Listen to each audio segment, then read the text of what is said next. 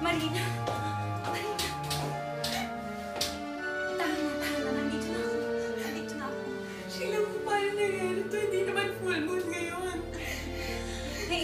Alam eh. Kaya nga ayaw kitang paalisin kanina mag-isa. Di ba? Ito yung sinasabi kong iba yung pakiramdam ko. Dapat nakinig na lang ako sa'yo. Paano tayo makakalabas dito, Sheila? Ang taas ng bintana. Akong bahala. Sa mga mata ng mortal, di nila makikita ang tunay mong anyo. Pansamantalang mabubura sa kanilang paningin ang iyong bunto. Pero ang totoo, hindi naman talaga ito nawawala.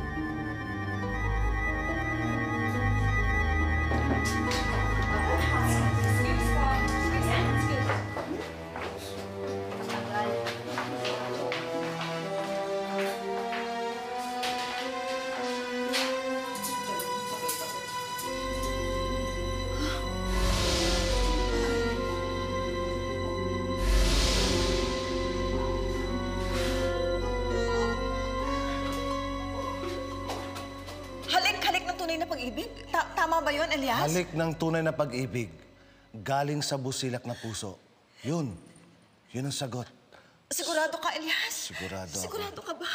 Halik ng tunay na pag-ibig? Halik na tunay Ibig sabihin, pagka hinalikan si Marina ng tunay na pag-ibig, eh, hindi na siya magiging muling Serena pa. Eh, eh, hindi na mawawala ng sumpa. Mawawala ng sumpa! Huwag mo nakalimutan. Lagi mo nakakalimutan eh. May pag-asa na si Marina. Mama Esther, sandali lang.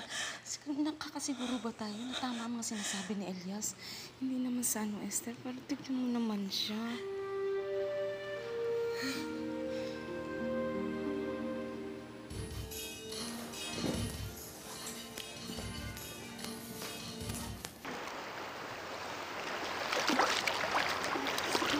Marina, Maraming maraming, maraming salamat, Sheila. Sheila, ba't parang hinang-hina ka? Huwag mo na akong problemahin. Ang mahalaga, Marina, makabalik ka sa dagat. Sige na.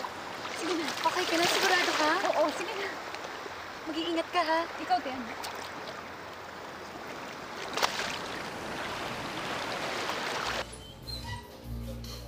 Miss, excuse me, may tao pa ba sa loob? Wala eh. Ako lang. Excuse me. Excuse me, waiter. Ah, yung ano ho yun? babaeng ka-date ko, nasaan? Um, umalis na ho eh. May kasama nga babae. Parang lasing na lasing. Buti na lang sinundan mo si Marina kung hindi eh. Naku, nabuko na tayo. Sheila, maraming maraming salamat ha sa lahat ng mga ginagawa mong tulong para kay Marina. Wawa ka naman, pati tuloy ikaw, nagkasakit ka na. Wala hong ano man to. Lilipas din ito. Di ba hindi naman full moon ngayon? Eh bakit nagkaroon ng buntot si Marina? Yan din yung ang pinagtataka namin eh. Ako, posible kayang niloko lang siya ni Dugong? Posible. Pero posible din na may kinalaman to sa sumpa ni Victoria sa kanya. Eh paano yan? Babalik pa kaya mga paa niya? Kintin. Buti dumating ka. Inaabangan talaga Si kita. Marina! Ay, yun na nga ang gusto kong ipaliwanag sa'yo. I- i- kasi ay sasabihin ko sa'yo dahil ano, kan, nauna na siya. Kailangan namin mag-usap, Yaya Pilar. Eh, yun na nga, eh, nagpapahinga na siya kasi masamang masama ang pakiramdam niya. May sakit siya eh. Hindi ako naniniwala. Kintin, alam ko masama ang loob mo. Pero pwede ba ipagpabukas na natin to, ha?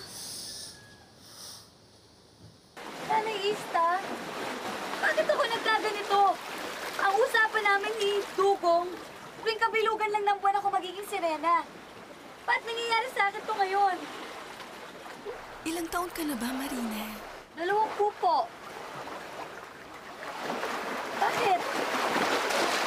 Marina, hindi ka kasi katulad ng mga tunay na sirena na hindi tumatanda. Simula ng isumpa ka ni Victoria, dumari ang laman ng orsa na ito. Orsan? At kasabay sa pagtanda mo ang pagkaubos ng laman. Anong mangyayari mga orasan. Nanay Ista?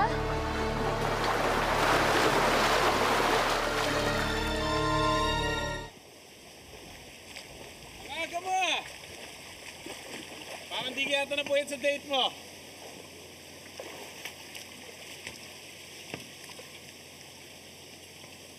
Teka muna, hulaan ko ah. Pumalpak ang date mo, ano? Ikaw naman kasi, ang kulit mo. Sinabi ko naman sa'yo, ibang babae na lang. Ibang klaseng babaeng yan. Iba. Sige na, pinsan. Huwag ka nang magalit. Inamin ko na naman talaga na buhay si Christina eh. Kong malaking utang na loob na nahuli kitang nagsisinungaling sa akin. Ganon. Ah, Paano pa ako magtitiwala sa'yo? Eh, hindi ko naman talaga sinasadya magsinungaling. Hindi ko rin alam. Eh, lang pala ako ng mga sirenang yun eh. Hindi ko naman alam na hindi yun yung totoong Christina. Eh, malay ko ba talaga sa itsura ng totoong Christina? Alam ko na, alam ko na. Gusto mo, ngayon na ngayon din. Ha? Gagalugarin ko ang puso Ibibigay ko siya sa'yo. Ha? Alis na ako? Ngayon, ha? Ay! Huwag na. Hindi na kailangan. Dalawampung taon nang nakalipas.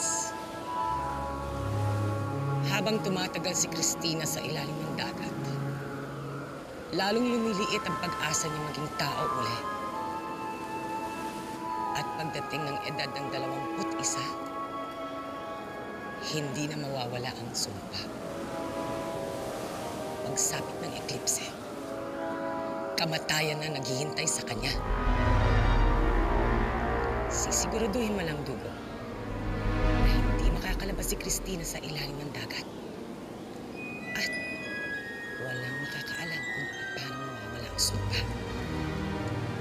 Siguro naman, Dugo, walang nakakaalam kung paano mawala ang sumpa.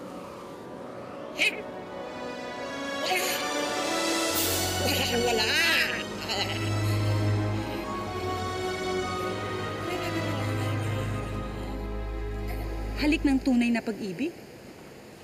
Yun ang sabi sa akin, Elias. Pero hindi ko alam kung dapat kong paniwalaan. Ano ba sa tingin mo, Sheila? At this point, Tita Esther, wala naman siguro mawawala kung maniwala ka.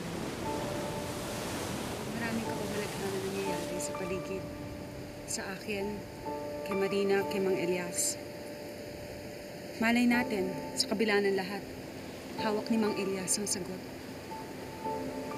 Sana nga, Sheila. Sana nga.